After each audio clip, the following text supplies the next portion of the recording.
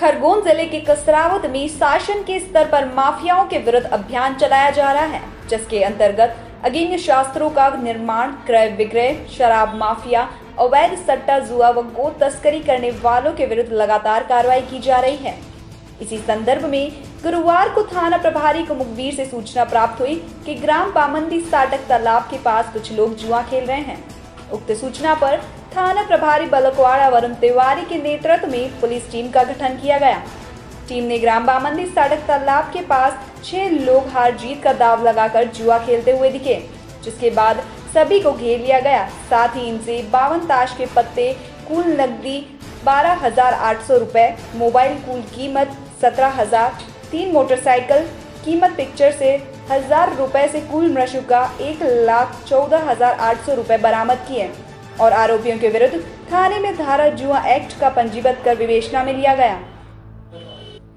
कसरावत तहसील से अबरार पठान की रिपोर्ट।